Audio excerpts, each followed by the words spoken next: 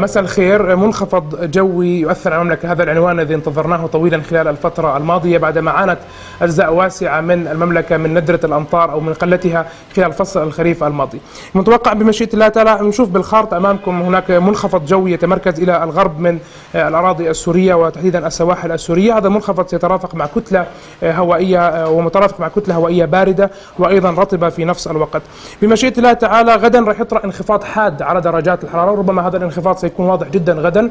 آه، تكون درجات حرارة الخميس هي الأقل منذ آه، عدة آه، أسابيع. طبعا عشنا أجواء كانت نوعا ما باردة في بعض مناطق المملكة لكن في ساعات الليل. لكن غدا راح ننتبه أن الأجواء جدا باردة في أغلب المناطق حتى خلال ساعات النهار.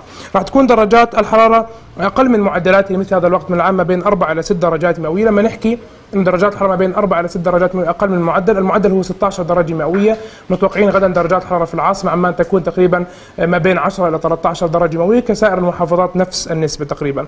آه، يتوقع أن تهطل زخات متفرقة من الأمطار بمشيئه الله تعالى في شمال المملكة، وسط المملكة، أجزاء من المناطق الشرقية، إضافة إلى أجزاء من المرتفعات الجبلية الجنوبية، أيضا المناطق مثل محافظة الكرك إحنا بنقدر أحيانا نشملها آه، من ناحية المنخفضات في المناطق الوسطى.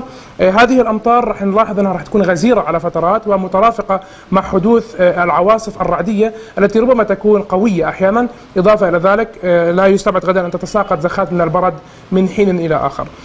أيضا متوقع أن تكون الرياح غدا غربية إلى جنوبية غربية معتدلة السرعة، لكن هذه الرياح راح تنشط خلال ساعات النهار وربما تصحب ببعض الهبات القوية خاصة في المناطق المفتوحة، ونشاط هذه الرياح سيعمل بمشيئة الله على إثارة الغبار في أغلب المناطق الصحراوية. هذه الحالة الجوية التي تتأثر بها المملكة تستدعي آه، عدة تحذيرات حابين آه، نحكي لكم عنها. أول شيء خطر تشكل السيول في الأودية والمناطق المنخفضة كنتيجة لغزارة الأمطار. هذه السيول متوقعة خاصة لا سيما في المناطق الشمالية وأجزاء من المناطق الوسطى.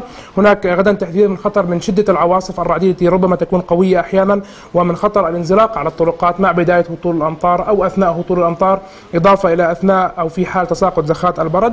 ولدينا تحذير من خطر تدني مدى الرؤية الأفقية في بعض طرق المملكة ولا سيما المرتفعات الجبلية منها كنتيجة للضباب والغيوم الملامسة لسطح الأرض والتحذير الأخير من خطر تدني مدى الرؤية الأفقية في مناطق البادية والطرق الصحراوية كنتيجة للغبار والأتربة المثارة بفعل الرياح. آه، أكيد في كثير ناس بيسأل قاعدين عن الأسبوع القادم هل هناك تغييرات؟ ما زلنا عند رأينا بانه الأسبوع القادم غالبا سيحمل معه موجة صقيع وأجواء باردة. نعود ونذكر بأننا نتوقع شهر 12 سيكون الأبرد منذ عدة سنوات. هناك أجواء ستكون باردة بشكل لافت وفي حال وجود أي تطورات أخرى سنوافيكم بها إن شاء الله غدا.